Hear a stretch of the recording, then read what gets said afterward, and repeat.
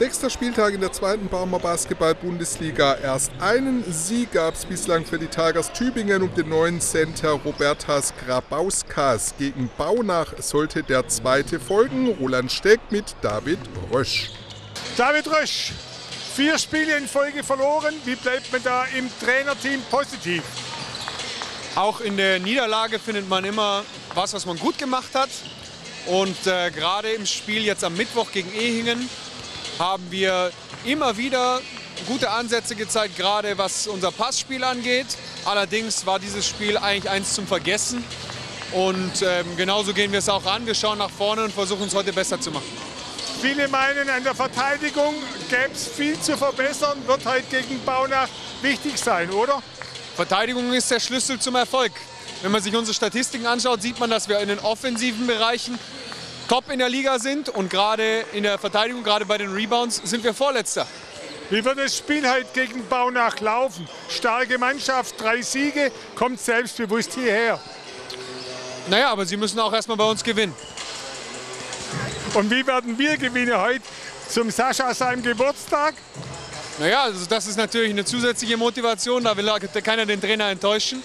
Aber es geht vor allem darum, dass, wir, dass, wir, dass sich jeder Spieler an seine eigene Nase packt und, und heute die 10% draufpackt, die da momentan fehlen.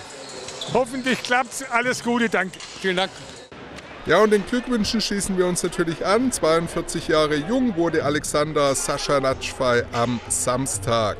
Ja, und er nominierte gleich mal seinen Sohn Nemanja gegen die Young Pikes zum ersten Mal in die Starting Five und der gleich mit dem Stil und dann ab nach vorne über Tyler Laser, Reed Timmer, Alicia Allen, wieder Natschwa Junior und dann Grabauskas und der 28-jährige Litauer mit den ersten Punkten der Partie.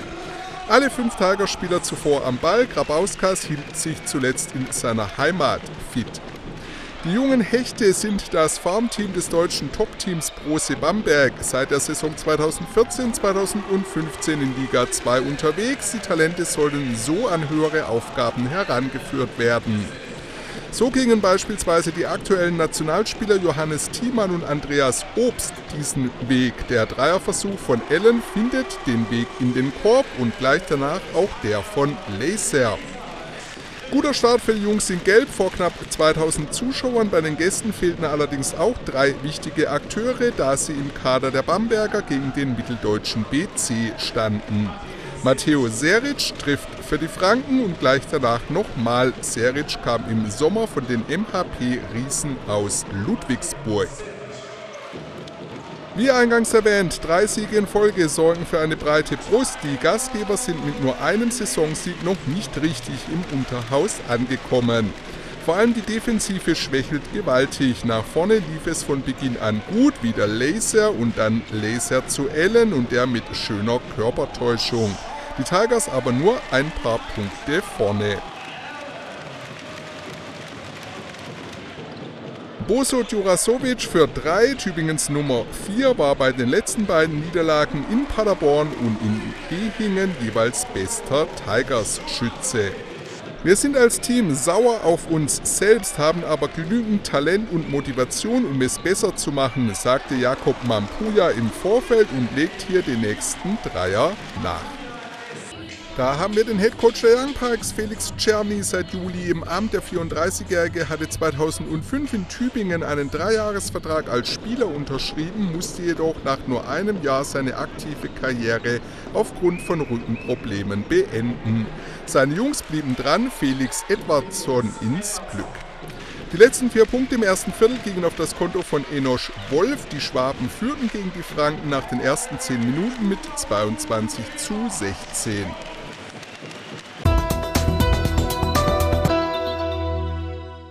Technik erster Klasse gibt's bei Elektrobetz in der Eberhardstraße in Tübingen. Bei uns finden Sie eine große Auswahl an Unterhaltungselektronik und Haustechnik sowie die neuesten Techniktrends. Wir sind Ihr kompetenter Ansprechpartner für Elektroinstallationen und haben eine eigene Meisterwerkstatt. www.elektrobetz.de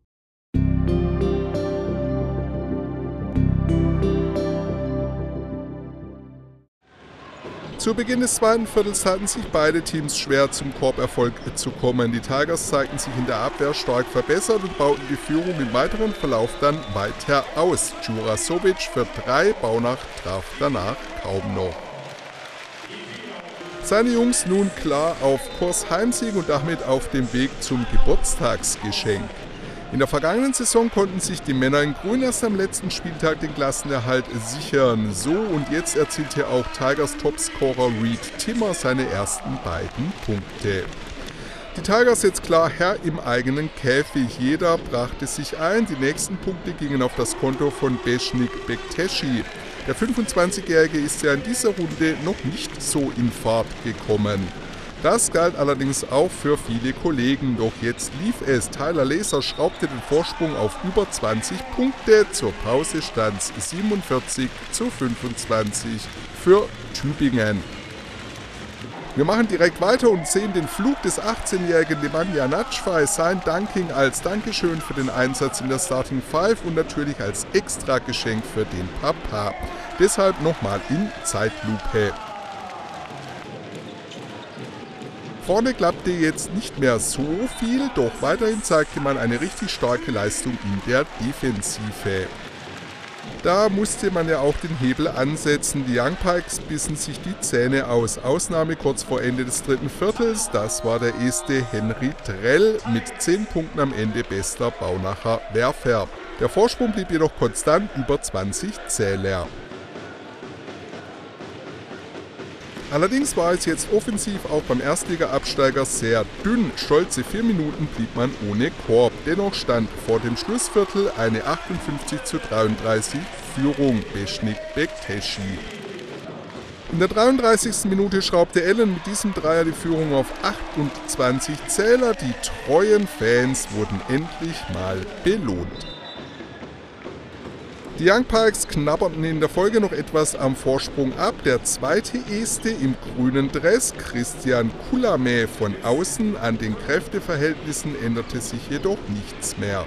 Entspannter Abend daher nun für die Kollegen und auch für ihn. Sein Vorgänger Matthias Fischer ist nun übrigens als Coach in China gelandet. In der Schlussphase feierte Youngster Daniel Zaschek noch seine Zweitliga-Premiere. Die beiden besten Tübinger Werfer nochmal im Zusammenspiel, Teamer auf Allen. Beide kamen am Ende auf jeweils 14 Zähler. Dann war Schluss. Die Tigers Tübingen schlagen die Young Pikes Baunach mit 82 zu 56 und feierten damit ihren zweiten Saisonsieg. Gleiche sechs Akteure konnten zweistellig punkten. Grundstein war jedoch dieses Mal die starke Defensive. Roland Steck sammelte wie immer die Stimmen. Mein Vater meinte noch vor dem Spiel, sei bereit. Ich habe davor Regionalliga gespielt, habe mich gut gefühlt, kam ins Spiel und habe gestartet, habe einen guten Anfang gemacht. Und dann kam der Fluss in die Mannschaft rein und dann haben wir das Spiel geholt. Und was ist passiert in den letzten drei Tagen? Wir haben uns im Training alle sehr angestrengt, weil wir wussten, jetzt kommt wieder eine junge Mannschaft zu uns. Und wir wollten einfach unseren Fans zeigen, dass wir gewinnen wollen, dass wir äh, hart spielen. Und unsere Defense hat uns, äh, unsere Defense hat uns heute ausgezeichnet. 56 Punkte ist perfekt für uns. Äh, wir haben eine gute Reaktion im Training gezeigt. Wir haben angefangen, ähm, uns mehr darauf zu besinnen, unsere Offense wirklich durchzulaufen und disziplinierter zu spielen. Ähm, ja, und das haben wir heute, denke ich, gezeigt, dass wenn wir unser Basketball ganz entspannt und unseren, unsere Offense durchspielen, dass das dann ganz gut läuft. Ja. Von der Verteidigung ganz zu schweigen, die bisher das Problem war, heute nur 56 Punkte zugelassen. Äh, ja, ich habe es ja auch immer äh, vorher gesagt, dass es auch zum größten Teil unserer Offense lag, weil wir zu schnelle Kor äh, Korbabschlüsse gefunden haben und dadurch keine Chance hatten, uns in der Verteidigung richtig zu positionieren. Heute haben wir diszipliniert unsere Offense zu Ende gespielt und dadurch können wir auch die Defense besser kontrollieren. So, jetzt geht es nach Chemnitz. Richtig. ja, ähm, ja, sicherlich momentan das Team in der Liga. Aber ähm, ja, ich denke, wenn wir so weitermachen, eine gute Woche uns darauf vorbereiten, dann wird das gut laufen für uns. Nun, es fühlt sich natürlich gut an. Wir haben endlich wieder gewonnen. Nach zuletzt zwei Auswärtsniederlagen in Folge wollten wir heute unbedingt einen Sieg landen. Wir haben alles dafür getan, toll gekämpft und uns am Ende belohnt. Was ist in den letzten drei Tagen nach der schwachen Leistung in Ehingen passiert? Nun, es war klar, dass wir in der Defensive arbeiten müssen. Wir können nicht ständig über 100 Punkte zulassen. Heute war es schon besser, noch nicht perfekt, aber wir sind ein neues Team und arbeiten weiter daran. Danke, danke. Die Stimmen der Trainer gibt es noch in dieser Woche. Am Samstag geht es dann also zum noch ungeschlagenen Tabellenführer nach Chemnitz und vielleicht gelingt da ja der erste Auswärtskuh.